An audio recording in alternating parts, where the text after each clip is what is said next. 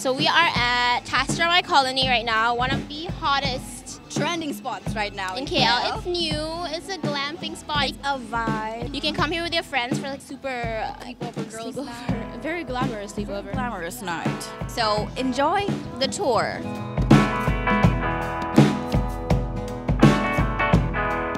Audrey, so what was the inspiration for Castra? We wanted to create like a safe, fun space, like a sort of like a respite from the city, in the middle of the city.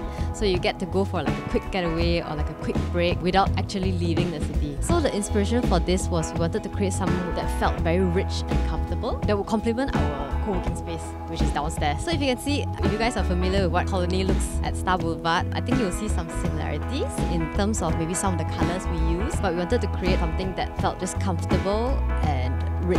We, we played a lot of like um, earthy tones, so if you can see, the end result looks a little bit Moroccan. I don't know whether I don't know. That wasn't exactly yeah, that wasn't exactly our inspiration, but it ended up being like that. So who would you recommend to stay here?